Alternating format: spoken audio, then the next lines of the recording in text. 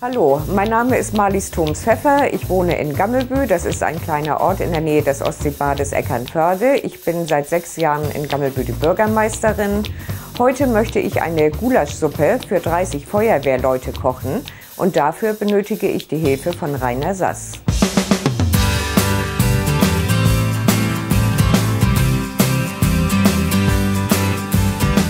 Tag, meine Damen und Herren. Herzlich willkommen bei Wünsch dir Sass. Sie haben schon gehört, es ist heute ein etwas größerer Wunsch. Und ich musste heute mehr mitbringen als üblich. Sonst habe ich ja immer nur meinen Notfallkoffer dabei. Und heute habe ich auch ein paar Zutaten mitgenommen. Unter anderem wunderschöne Zwiebeln hier und vor allen Dingen einen eigenen Herd, sodass wir richtig schön kochen können. Und jemand sollte mir hier helfen beim Ausladen. Mal gucken, ob das klappt. Hilfe! Hilfe! Kommt. Ja, die kommen. Also, damit das Ganze hier aus dem Auto kommt, vielleicht die Zutaten und die Zwiebeln und vorsichtig bei den Zwiebeln, da sind mir auch schon zwei rausgefallen. Oh ja, geht das so? Und ich mache mich jetzt auf den Weg zur Bürgermeisterin. Ich habe es gleich gefunden, meine Damen und Herren. Lesen Sie mal. Gemeinde Gammelby, die Bürgermeisterin. Und ich hatte erst ein großes, dickes, fettes Rathaus erwartet. Das ist übrigens die Abkürzung BGM. Ja, bitte.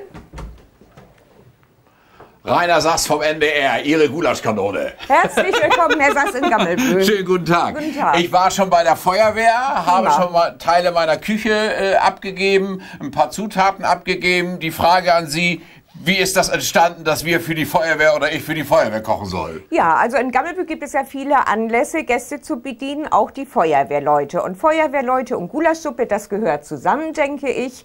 Ich kann sie leider nicht richtig kochen. Mir fehlt die gewisse Würze, Ja. wissen Sie. Und äh, die Feuerwehrleute essen ja ganz gerne eine scharfe Suppe, damit sie dann ja auch anschließend die Brände gut löschen können. Ja. Also ich habe einen guten Eindruck, das ist eine gute Type und ich hätte irgendwie so einen kleinen Schalk, finde ich. Das weiß ich nicht. Und äh, ich glaube, die hätte ich auch gerne als Bürgermeisterin. Und äh, darf ich fragen, das ist hier Ihr offizielles Amtszimmer? Ja, richtig. Und ist dieses Amtszimmer Bestandteil Ihres ge- gesamten privaten Hauses oder Ja, was? ja, das ist mein Privathaus und diesen Raum stelle ich zur Verfügung für die Amtsgeschäfte. Okay. Und ist in diesem Privathaus auch eine private Küche? Aber klar, soll Ja. ich Sie hinführen? Ja, danke schön. Okay. Mein erster Eindruck von Rainer Sass äh, war, dass er ein sehr freundlicher Mann ist, aber auch sehr lebhaft gleichermaßen. Die ist nagelneu, oder? Die ist nagelneu, Boah, extra für diese Sendung? aber selbstverständlich. Also das ist Spaß, ne? Oder? Ja. Nein, sie ist wirklich neu. Nein, okay. Ja. Also wir müssen einmal zusammenfassen. Wir beide kochen heute für 30 Feuerwehrleute. Gulaschsuppe. Ich habe Küche mitgebracht und ein paar Zutaten mitgebracht. Ja? Ich brauche aber noch einiges. Ich brauche Schneidebretter, ich sag's mal eben, Schneidebretter, Messer und irgendwas an Kellen. Wie sieht's mit Schneidebretter in diesem Haus aus? Ja gut, dann beginnen wir mal damit. Ja. Hier haben wir Schneidebretter. Ja, hiermit kann ich natürlich nicht für 30 Leute Zwiebeln schneiden. Das geht natürlich nicht. Aber gleich daneben, meine Damen und Herren, und das ist schön zu sehen, das ist das, was ich liebe. Ein großes, zwei große. Das ist wunder, wunderschön. Und wie sieht es mit Messer und Keller Ja. aus? Da können Sie hier gerne mal schauen. Ja, also darf Hier ich mal eben alles, einmal. aber also klar. wir brauchen ein gutes Sägemesser, das sieht gut aus. Die sind sogar noch hier in der Folie drin. Das heißt, die sind bestimmt noch scharf. Die brauchen wir. Das haben wir zwei davon. Haben Sie noch was an Kellen sonst? Zeigen Sie mal. Die vielleicht. Also, hiermit soll ich für 30 Leute Gulaschsuppe rühren. Nehmen wir auf jeden Fall mit. Aber wirklich jetzt Spaß beiseite, eine große Kelle. Eine ist gut. Ja. Vielleicht die noch hier. Und die noch. Die noch? Okay, das langt eigentlich. Wunderbar. In diskreter Weise, weil es so ins Auge fällt. Ja? Ein wunderschöner Kalender. Was hat das für eine Bewandtnis? Ja, damit, mit diesem Foto möchte ich meinen Mann an den Herd kriegen. Der kocht nicht so gerne. Ach so. Also ich finde das als Idee gut von der Frau, ihren Mann mit so schönen Bildern in die Küche zu holen. Wir haben, das muss ich fairerweise sagen, vorher telefoniert. Wir brauchen noch Fleisch. Da gibt es hier irgendwie eine Möglichkeit, oder? Wir fahren ins Nachbardorf zu einem ganz guten Schlachter Ja. und kaufen da das Fleisch. Und das machen wir jetzt, ne? Das machen wir jetzt. Chauffeur und Fahrzeug warten schon. Rainer Sass erwartet vor der Tür ein großes Fahrzeug, nämlich ein Feuerwehrauto. Nein, das glaube ich wirklich nicht. Das ist doch nicht wahr, ne? Eine nette Überraschung, Boah, oder?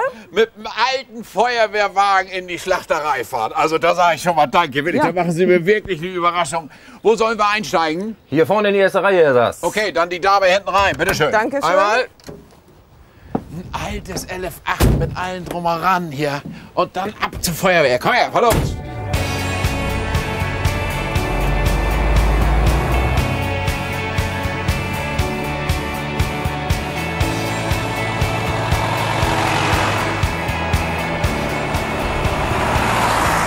Thomas Pfeffer, wer fährt uns hier eigentlich? Das ist mein Mann Jürgen. Das ist Jürgen, der hat mir doch auch schon die Küche rausgetragen. Ja, ne? genau. Okay. Müssen wir uns eigentlich irgendwo anmelden und wo? In der Leitstelle in Kiel. Okay, das mache ich mal. Jawohl. Florian Kiel für LF8 kommen. Ja, hier ist die Gulaschkanone vom NDR. Wir sind auf dem Weg zur Schlachterei. Vier Personen. Okay.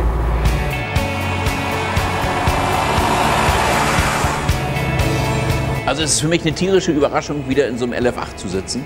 Ich war aktives Mitglied der Feuerwehr Stade und deshalb ist das wirklich doppelt schön für mich, mal wieder so zu fahren und diesen Geruch und dieses Auto, alles zu haben. Wunderbar.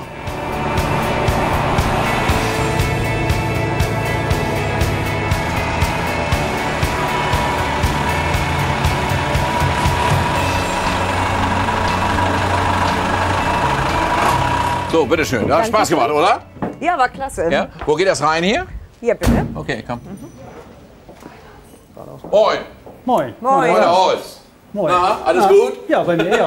Hallo Mali. Ja. Hallo, Moni. Sie haben schon gehört, ne? wir haben einiges vor heute, ne? Wir Ja. wollen kochen. ja, wir wollen nämlich für 30 Leute eine richtig schöne Gulaschsuppe kochen. Ja. Und ihr hattet ja schon zusammen telefoniert und Haben Sie wir. sollten was raussuchen. Was ist es geworden? Ja, es ist Wade geworden. Wade? Ja. Ja. Ist ja Was- eigentlich nur für Süddeutschland so ein bisschen typisch, Ja. nicht für Norddeutschland. Aber da es ein besonderes Gulasch werden soll für die Feuerwehr, Ja. haben wir gesagt, nehmen wir diesmal Wade. Und weshalb jetzt Wade? Bewegen Sie sich mal. Bewegen Sie sich mal mit. Schneller. Was bewegen Sie jetzt? Die Waden. Also nehmen wir Wade. Ja, okay. Herr Sass hat schon eine sehr spontane und sehr lustige Art, einem Dinge zu erklären. Und äh, was äh, das mit dem Wadenfleisch bedeutet, das denke ich, habe ich jetzt begriffen. Wie viel ist das? Das sind jetzt gute 6 Kilo. Und ich muss das bezahlen. Was soll das kosten? Machen wir rund 60 Euro.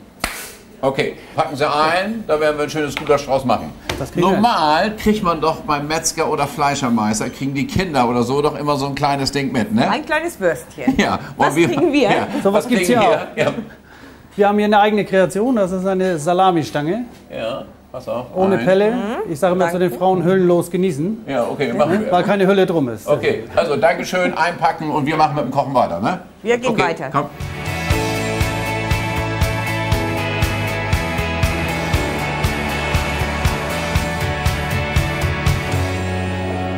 Boah, und wir sind auch im Einsatz hier, ne? Auch noch einmal rühren, das ist ein schönes Gefühl, oder? Okay, wo sind wir hier eigentlich gelandet?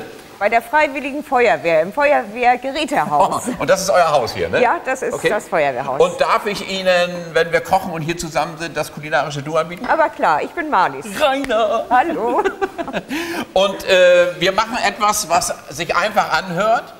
Gulaschsuppe denkt man ja Deckel auf und rein, also Dose auf und rein. Und das ist unser ganzes Bild. Und wir gehen mal so einen Schritt zurück. Ist das nicht schön? Das herrlich. braucht man alles, meine Damen und Herren, um eine richtige Gulaschsuppe zu machen. Und wir haben hier Zwiebel klein geschnitten. Und das haben wir beide nicht alleine gemacht. Dazu haben wir nämlich Hilfe. Und Zwiebel ist die Grundbasis meiner Gulaschsuppe. Ja? Und hier hinten haben wir wen als Hilfe eigentlich?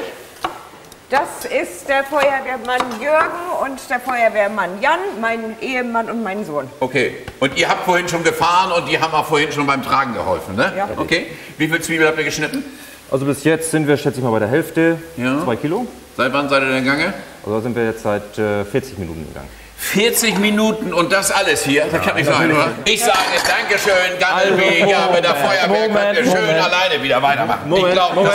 das kann ich sagen, oder? Bisschen Spaß muss sein. oder? Ein bisschen Spaß muss Und ein bisschen mehr haben wir auch. Sie haben natürlich ein bisschen mehr geschafft. Genau. Und wenn wir überlegen, dass ihr das, was im Topf ist, auch schon geschnitten hat. Und so sieht das Ganze aus, meine Damen und Herren. Das ist wunderschön. Das nehmen wir schon mal wieder mit. Ja. Und äh, Marlies war richtig, ne? Ja, Marlies ist richtig. hier am Rühren und kriegt jetzt schon die nächste Ladung hier raus. Und das sind die Mengen, die wir auch brauchen, Ah ja. Also die Zwiebeln sind eigentlich der erste Geschmacksträger in diesem Ja. Gulasch. Und es ist eigentlich eine ungarische Art, so eine Gulaschsuppe zu kochen. Mhm. Ich habe einen ungarischen Freund und der hat immer gesagt, Männchen, musst du nach und nach Schatzi Bubilein da reingeben. Wenn anbraten, Fleisch, das ist deutsch. Wir braten nämlich das Fleisch hinterher nicht an, sondern legen das da rein. ah ja, das kenne ich auch nicht. Nein, und vorher müssen unsere Zwiebeln noch Geschmack kriegen. Das machen Ja. wir jetzt. Also du gibst schon mal so ein ganz klein bisschen Paprika darauf. Wir haben zwei Sorten Paprika. Einmal gibt es den scharfen und einmal der dunklere, das ist der mildere Mildere. Paprika. Wir haben uns entschieden für eine Mischung. Ja? Gut. Zwei Löffel von dem scharfen Paprika, von dem Rosenpaprika und zwei Löffel von dem milden Paprika hier da rein. So da rein. Ah, ja. Also zwei Esslöffel, wunderbar. Und dann alles so verrühren. Und jetzt müssen die Zwiebeln wieder diese Farbe kriegen. Siehst du es? Ja. Und jetzt werden sie rot. Und jetzt haben wir schon fast eine, Gulaschfarbe. Ich noch mal einmal Ja. zeigen, weil wir das, das lieber zeigen müssen. So muss es aussehen. Das sieht ja schon richtig Sieht gut, aus. ja? Und jetzt machen wir ein Gewürzsäckchen.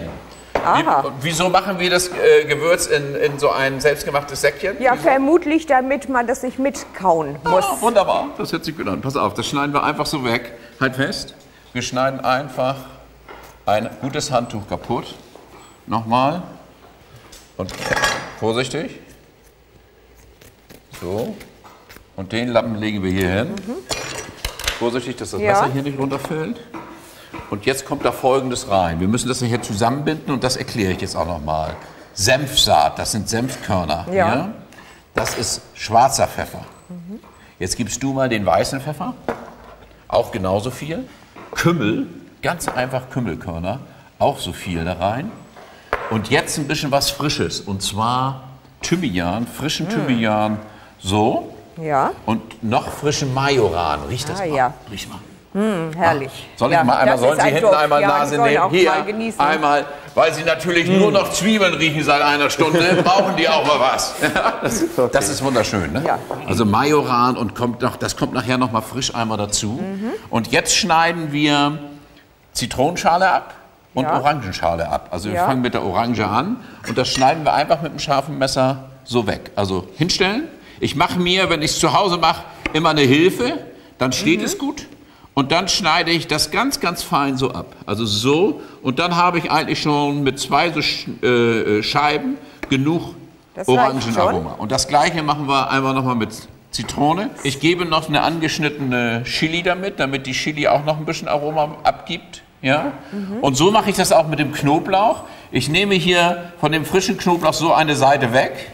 Der Knoblauch hat so sein Aroma entfaltet, weil er angeschnitten ist und das lege ich so mit rein. Das ist eine besondere Gewürzmischung, die nennt man Schildkrötengewürzmischung. Früher durfte man ja leider Schildkröten zu Suppe verkochen, Gott sei Dank nicht mehr. Aber dieses Gewürz dazu, das benutzt man auch für andere Suppen und das benutze ich und auch andere Köche für die Gulaschsuppe. Jetzt binden wir das zusammen. So, so, so. Soll du, ich mal halten? Du hältst fest. Das muss richtig mit dem Zwirn hier festgebunden werden. Jetzt hinlegen. Einmal den Finger darauf. Und fertig. Gut. Unser Gewürzpäckchen. Aha. Krieg jetzt noch einen auf die Mütze von mir. Und aufpassen, dass es nicht aufplatzt. Ich gebe auch noch einen. Komm. Wieso? Ich frage immer, wieso heute? Damit die Aromen Damit die noch mal ein bisschen frei werden. können. Und rein damit. Ja, Rainer Sachs als Kochlehrer. Rainer Sachs ist ja sehr schnell in seiner Arbeit. Äh, Man muss sich natürlich bemühen, ihm auch folgen zu können. Er könnte auch gut Koch in einer Kaserne sein. Liebe Zuschauer, meine Damen und Herren, wenn Sie im Sendegebiet Leute brauchen oder zwei Männer brauchen, die Zwiebel schneiden oder Fleisch, das machen Sie super, oder? Ja, ich wundere mich, weil zu Hause läuft das nicht so. Ich sehe Sie das erste Mal Fleisch schneiden. Ja, genau, wunderbar. Okay, Ja. und wir haben uns für Wade entschieden.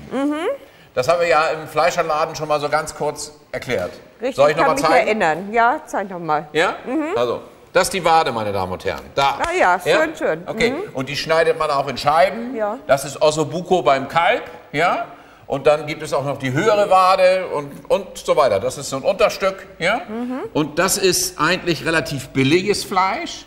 Und aber wunderschönes Fleisch, weil es auch mit diesem Bindegewebe durchwachsen ist. Ja, man sieht schon, dass es so Das siehst du, herrlich ne? Aussieht. diesen- ja. und das macht es eben durch Schmoren richtig saftig, weil es auch das Fett immer Ja. weiter abgeht. Guck dir das an. Ja. So sieht es aus. Und ich möchte auch, dass du mal einmal eins hier so selbst schneidest. Mhm. Und auch keine Angst haben, dass das nachher, die denken die Leute, das ist zäh. Also meine Damen und Herren, wenn sie das so sehen, denken sie bestimmt, oh, zäh und fett und schmeckt nicht. Das gibt alles Geschmack ab. Und das wird durch die lange Garzeit richtig schön zart. Also das heißt, das Fett brät raus. ja. Ja? Also Ah, das ja. Fett brät raus und ge- bringt Geschmack ans Gulasch. Ja. Ich hole mir von hinten schon mal ein bisschen Fleisch. Dankeschön, das sieht sehr gut aus. Ja.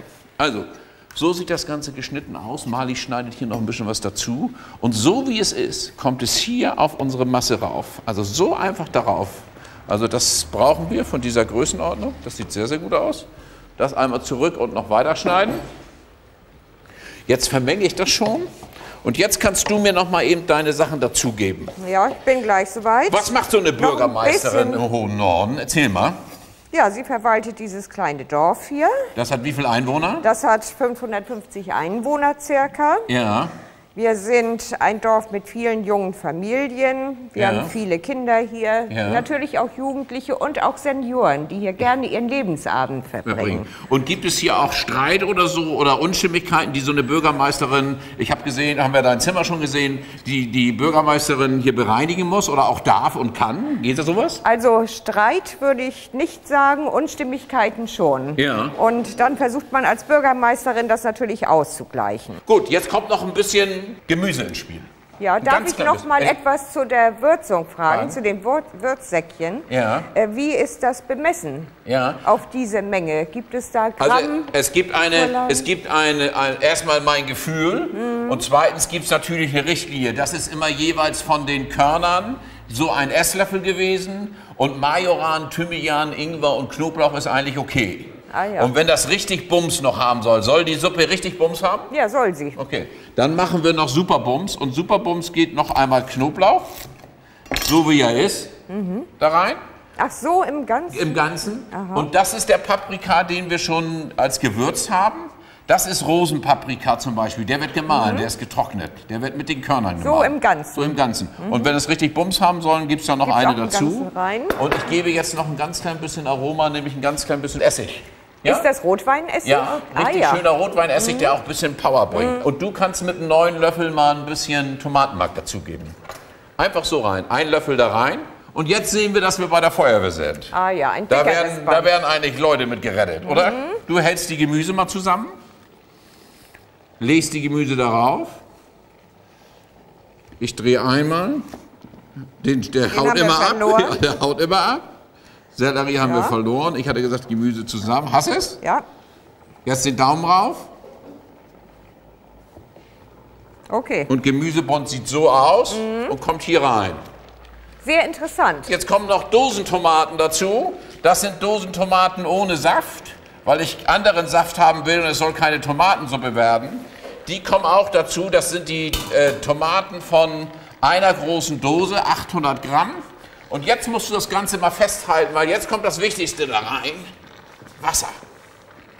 Also in diesen großen, jetzt aufgepasst hier, da geben wir jetzt ganz einfach keine Brühe und nix, sondern das sind hier vier, fünf Liter Wasser so rein, denn es soll ja eine Suppe werden. So, wunderschön.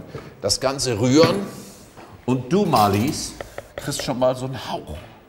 Wirklich so einen Hauch, weil es schmeckt jetzt noch nicht so, wie es angehend nachher schmeckt, aber der Hauch ist da. Ja, als ich die Suppe probiert habe zum ersten Mal, da waren äh, die Gewürze ganz gut rauszuschmecken, besonders natürlich schon die Zwiebeln und das Suppengemüse, was drin war, Salz fehlte. Also eine Prise Salz, bitte noch einmal rühren. Und dann haben wir es eigentlich. Jetzt machen wir gleich die Beilagen fertig, meine Damen und Herren. Vorher darf ich noch mal etwas Persönliches loswerden. Ich bin selbst ausgebildeter Feuerwehrmann, seit Jahren leider in der Altersabteilung der Feuerwehr der Stadt Stade. Aber ich habe gelernt, mit diesen Dingern hier umzugehen. Und die gucken schon. Hier, guck mal, die lachen schon. Und ich habe das wirklich gelernt, denn ich weiß, wie sowas geht. Also das ist ein C-Rohr, das ausgeworfen wird. Das habe ich bei Großbränden und bei Einsätzen immer dabei gehabt. Ich war nämlich ganz, ganz vorne, ganz oft auch und auch ganz hinten, ganz oft. Und das ist das C-Rohr. Und so würde ich einen Innenangriff vornehmen. Ist das richtig? Ja, alles absolut. Und dann müsste ich das eigentlich so nehmen und so nehmen. Richtig. Ja? Okay. Marlies, sag mal was. Sieht gut aus. Okay, Ja. meine Damen und Herren, und wir machen mit den Beilagen weiter. Marlies, was schneiden die schon wieder? Sie schneiden in einer Tour jetzt Champignons. Hauchdünn. Weil Das machen sie gut, ne? Ja, ganz prima. Muss man einfach mal sagen. Klasse. Wie, sag noch mal einmal ganz kurz mal zeigen.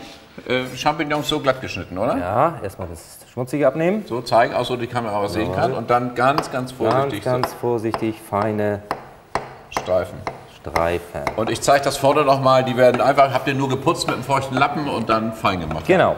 Und so sehen die nachher aus, meine Damen und Herren. So eine richtige Schale frische Champignons. Die kommen hinterher als Garnitur aufs Gulasch. Also auf die Gulaschsuppe kommt so ein ganz klein bisschen Champignon und dann kommt noch eine Creme aus Joghurt und Creme fraiche dazu. Also ich verstehe das richtig. Wenn die Suppe fertig ist, erst dann. Ja, wenn die Suppe fertig ist. Vorher Ja. nicht. Was möchtest du zuerst haben? Möchtest du, dass wir die Champignons zuerst braten oder die Soße aus Creme fraiche und Ich denke, machen? wir können die Champignons zunächst Okay, mal braten. dann habe ich hier Butterschmalz wieder in einer Pfanne. Und da gebe ich einfach schon so mal die Champignons rein. Einfach Ja. so eine Handvoll. Guck. Und die braten so gleich so vor sich hin. Und dann werden die ein ganz klein bisschen mit Salz und Pfeffer und ein ganz klein bisschen Ja. Zitrone nur Ja. Das ist Thymian. Frischer Thymian. Ja, duftet. Könnte auch schön an deinem Garten wachsen. Ne? Ja. Weißt du, was ich damit mache? Schnippeln. Ich schnippel die einfach hier nur so rein und dann kriegen die so ein kleines Aroma. Und Ja. Mhm. dann habe ich das natürlich vorher sauber gemacht. Und jetzt gibt man ein bisschen Zitrone, einfach schneiden, abschneiden und einen kleinen Spritzer hier rein. So. Und einen ganz kleinen Spritzer Olivenöl. Auch nur so einen Strahl. Feiner Strahl geht immer von oben. Ja. Deshalb würzen Köche auch so gern von oben. Ganz fein. Lang. So, wunderbar. Und dann sind sie so fertig. Hier. Wie siehst du, ein schöner Glanz da Ja. drin ist. Und dann kann man sie noch pfeffern, wenn man will. Mir langt also Olivenöl, Salz und Zitrone. Und so stellen wir sie zu beiseite und so kommen sie oben auf die Auf Gulaschsuppe die rauf. fertige Gulaschsuppe. Bevor wir Bevor die Creme machen. Du hast Genau. noch gar nicht nach der Suppe gefragt. Ist sie denn fertig? Nee, ist noch nicht fertig, aber Aber wollen wir aus. sie mal probieren? Oh, Darf ich mal probieren? Ja, pass mal auf, die blubbert so ganz, ganz leise vor sich hin. Und sie kocht jetzt, na, eine Stunde. Ja, Mhm. mit allen Arbeiten, die wir hier noch hatten, ist das eine Stunde. Und jetzt kannst du schon all unsere Aromen erkennen, hundertprozentig. Das kann ich schon so sagen, weil ich das auch rieche. Ist das nicht toll? Mhm. Etwas Salz vielleicht. Ja, aber zum Schluss immer lieber ein bisschen nachwürzen. Mhm. Ja. Ja? Okay. Hervorragend. Jetzt kommen wir zu, unseren, zu unserer Creme. Ist je äh, zur Hälfte Joghurt und Creme fraiche, also einen leichten Joghurt und eine richtige schöne Creme fraiche. Da gebe ich ein ganz klein bisschen Olivenöl rein. Und da kommt jetzt gemörster Pfeffer dazu. Ah ja, der Mörser Mörse. Pfeffer immer und wir beide mörsen jetzt noch mal einmal so zusammen. Ja? Ja. Einmal festhalten und so. Was gibt es bei euch zu essen, wenn der Fernsehkoch nicht da ist? Rouladen? Ja, ja nicht jeden Tag Rouladen, oder? Nicht jeden Tag Rouladen. Es gibt auch mal was anderes. was. Beispielsweise Eierpfannkuchen. Ja. Es gibt Gemüsesuppe. Es gibt Krabben mit Spiegelei. Ja. Und ähm, ja, mein Favorit ist im Moment Ziegenkäse mit Feigensenf. Oh, das hört sich gut an. Und sowas gibt es eben so zwischendurch in der Arbeit, wenn der Gatte äh, äh, äh, äh, abends kommt oder am Tag da ist, oder wie sieht das aus? Abends, Ja? abends. Bei uns wird nur abends gegessen, Gegessen. außer am Wochenende. Okay, Also, gemörster Pfeffer. Und jetzt kommt ziselierte Zitrone. Ja. Gibt es in diesem Gerätehaus einen Ziselierer? Leider nicht. Tschüss.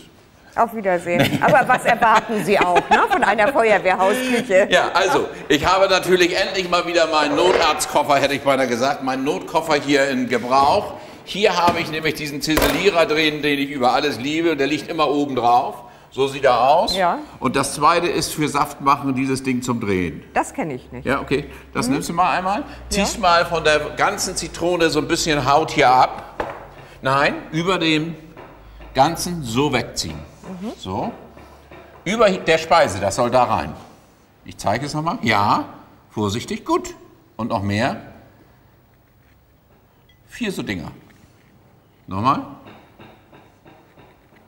Okay, das langt. Und jetzt kriege ich ja noch ein ganz klein bisschen Zitrone auf dem Kopf, sage ich immer.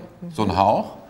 Und das Ganze wird mit einem frischen Löffel ganz leicht verrührt nur. Und das sind unsere beiden Beilagen, die oben auf die Gulaschsuppe kommen. Also so. Als Häubchen. Ja, als Häubchen oben Ja. drauf. Guck mal, wie gut das aussieht. Ja, Wunder, gut wunderschön. aus. Also, es gibt viele Variationen von Gulaschsuppen. Viele Leute machen Paprika mit rein, machen Kartoffeln mit rein oder machen die Pilze mit rein. Ich lasse das auf Fleisch und Zwiebeln und gebe hinterher Champignons und ein bisschen Schwand dazu und dadurch kriegt das Ganze einen besonderen Pfiff. Wie geht's hier weiter? Ja, es sind äh, acht Feuerwehrleute, die bereitstehen. Wir Ja. feiern ja, wenn wir hier im Feuerwehrhaus feiern, hier in der Halle. Halle, ja. Und äh, diese acht Feuerwehrleute möchten jetzt ganz gerne die Halle etwas bestücken mit Tischen und Bänken und die Tische eindecken. Okay, und schaffen die das? Wir haben eine Kochzeit von gut einer Stunde noch, das schaffen die in einer Stunde, oder? Ja, das schaffen sie in der Stunde. Das Ja? ist so vorgesehen, dass sie eine Stunde benötigen und ich sehe, Ja. Okay. die Zeit kommt dann Ja, so die hin. Zeit läuft. Ja. Ja. okay. Also, dir bis hier erstmal Dankeschön und wir machen mit Tisch aufdecken und allen drum und dran weiter.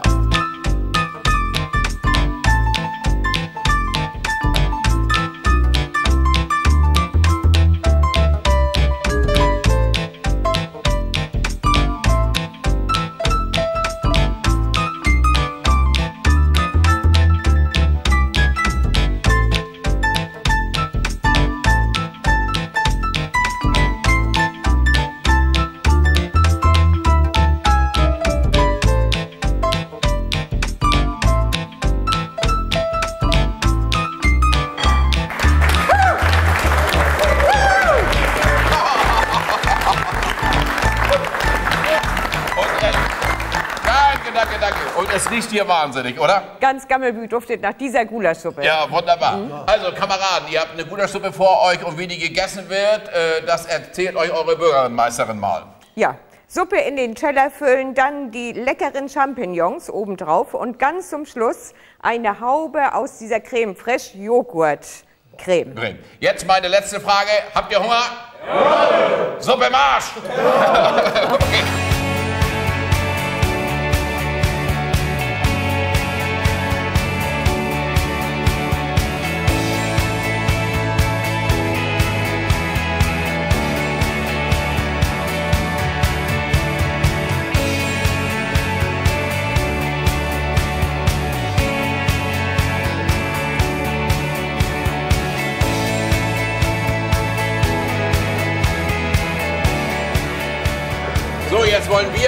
Natürlich auch wissen, wie es euch geschmeckt hat. Die Teller sind eigentlich leer geputzt, oder? Ja, man sieht's, ja, doch.